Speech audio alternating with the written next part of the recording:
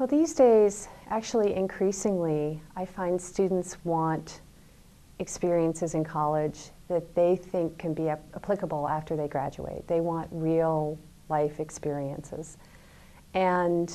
uh, I find that trying to integrate things that they interpret as real life experience in both the lower division and upper division classes, they appreciate and they really uh, seem to gain a lot from those types of assignments. So, for example, in the lower division class, my surveys, my big surveys with 130 plus students,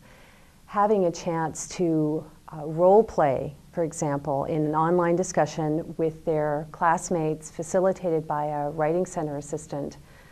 uh, role play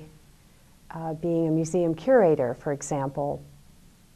is uh, useful for them to think about perhaps you know, these are GUR classes, general education requirements. So I could have engineering students in there, computer science majors, math majors who know the direction in which they're going. But I also have students, freshmen, sophomores, who haven't decided what they want to do in their lives. So here they have an experience to think about and play with the idea of becoming a museum curator and imagining what kinds of things one might do as a museum curator. And so that's one way in which I think it could be useful for them to give, get a nice idea of real life experience.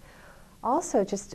being out in the world and getting an idea, even if they aren't going to go on to be museum curators, getting an idea of how a museum operates. So the next time they might go to a museum, I think their experiences could be enriched by having an idea of what's going on behind the scenes. In the upper division classes, especially with graduating seniors, I have a lot of my upper division classes are full of studio, design, art history majors who are planning to work in the field. So having an opportunity to, for example, actually set up an exhibition and work on an exhibition from the very first day when they're thinking about the theme of the exhibition to choosing the objects that will go into the exhibition, doing the research on the objects, on the artists,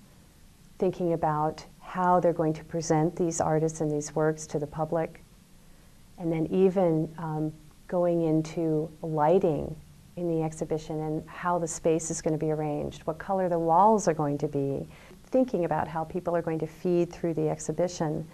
is very useful for them. It's, it makes a career in the arts tangible for them.